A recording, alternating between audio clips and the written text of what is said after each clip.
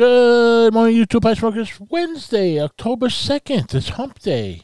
And I got the sun in my eyes and beautiful sunny, cool day. High of uh, 72 today.